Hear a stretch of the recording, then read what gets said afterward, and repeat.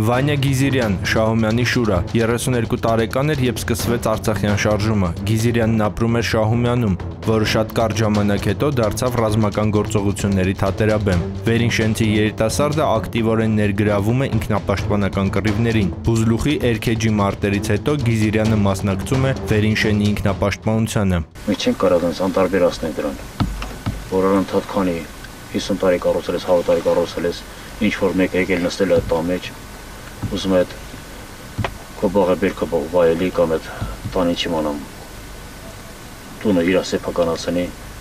ոչ մեկն էլ չի կարող անտարբեր դրան։ Շահումյանի շրջանի անկումից հետո 1992 թվականի հունիսի 25-ին Հաթեր գյուղում մի քանի ինքնապաշտպանական ջոկատների հիման վրա ձևավորվում է Եղնիկներ պարտիզանական ջոկատը, որը մինչ հրադադարի կնքումը իրականացնում է դիվերսիոն հետախուզական լայնածավալ գործողություններ։ Դրանց մի մասն իրականանում էին Գիզիրյանի հրամանատարությամբ։ Ոնց ասեմ, ոչ մի միջոց ոչ մոմենտ չունենք, այս որ ասենք, կարանք ոնց որ մարդ իրավունք ունի ապրի, մենք այդ միջոցները չունենք, վրանները չկան, քնապարկերը չկան։ Հակոս չունենք։ Սարակ ուտելու, ուտելու համար, ուտելու համար շատ դժվարանում ենք։ 10 օրը մեկ հատուղաթիռա գալիս է դեր հազիվ հասնաբերում հասցնում է դեր լիսապրատ։ Կամ ձիրով կամ քովրա պատետ կամ ինչ որ կա տեղափոխես որ կարես սոնես ու ապրես մարդել ասենք, չունենք որ ասենք, կարան պոստեր ապահովելնեն ու այդ մարդկանց ուղարկես սնունդ բերելու համար։ Եղնիկներ ջոկատը խոշոր ոսկոր էր հակառակորդի կոկորթում։ Ոչ միայն թույլ չէր տալիս օգտվել ճանապարհներից, հանքերից ու նույնիսկ հայկական լքված տներից ու այգիների բերքից, այլև ժամանակ առ ժամանակ լայնածավալ հարձակումներ էր իրականացնում ու ազատագրում տարածքներ։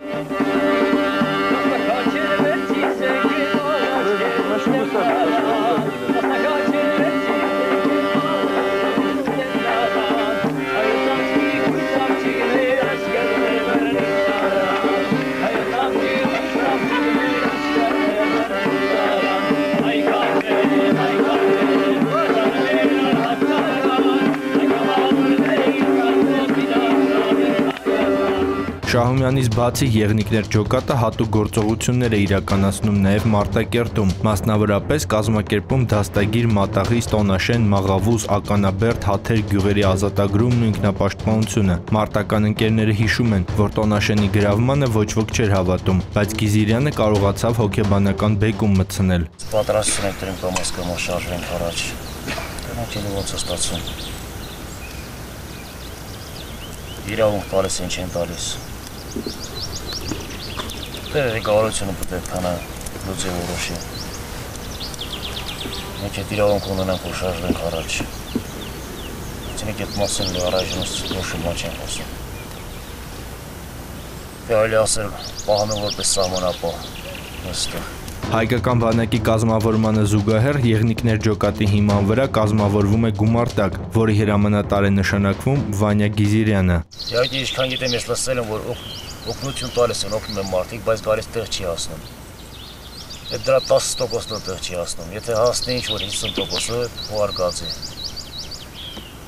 Լավ կլինի, ված չեն կլինի։ Վանյա Գիզիրյանը զոհվում է 1995 թվականի մարտի 20-ին Ականի պայթյունից։ Գևորգ Էմինտերյան, Սուրանկյուն։